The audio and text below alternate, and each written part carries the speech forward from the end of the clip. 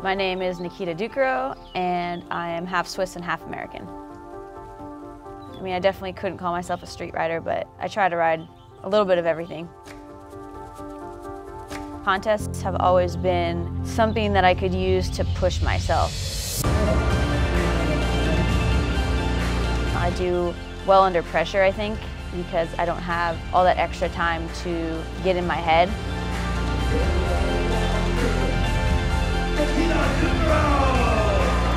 That's why we do what we do, because you get that rush, wanting to do something, getting over the fear of doing it, and then finally just stomping it. Oh my gosh. Growing up, Nikita was a handful. She was doing soccer competitively until about 12, and then she just got really bored with it. Her anxiety started ramping up a little bit. All I could think about was, I'm gonna be 30 years old, still living in my parents' basement. I'm not gonna be able to move out, I'm not gonna be able to get a job or function, and that's like a really scary feeling. I started pedaling around in the driveway. She would just do, you know, bunny hops and just little things. And little by little, she would get these like little ramps, and then the ramps started getting bigger and bigger. You know, I wanted to go to the skate park, and then after that, I wanted to go to my first competition. I was always that kid that at school, I would be doing the lights during the school play because I didn't want to be in front of people talking. So that part of it, it's kind of funny that now here I am like having to do exactly what I was running away from. It can be overwhelming, but at the same time, that's part of growing up and that's part of life. Being with Swiss Cycling now, it's great because it's come with a lot of support that we didn't have before. But I think the biggest thing was really just being able to represent this side of my family, this side of my heritage. It makes me love that she is a great role model for her brothers, but also for the next generation of BMX riders, for women in sports, and for the young generation too.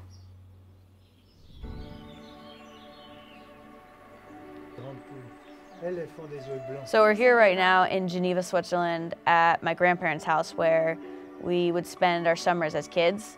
She really had that duality of the cultures. So she had the American culture through me and then the Swiss culture through Jean-Francois.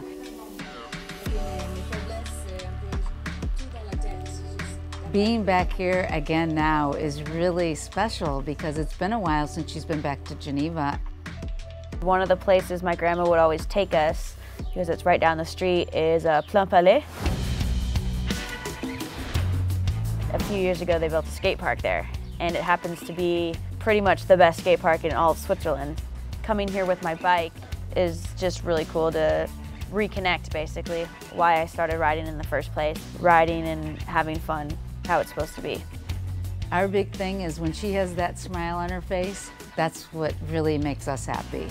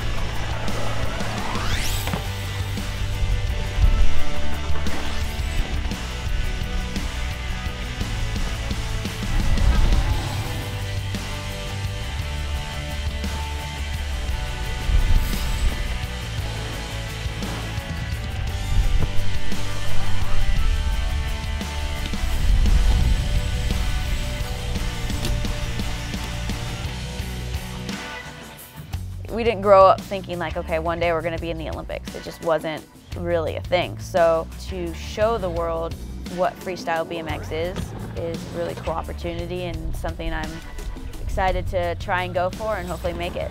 You know, when it's their goal, then it becomes our goal too, and I'm very excited for her.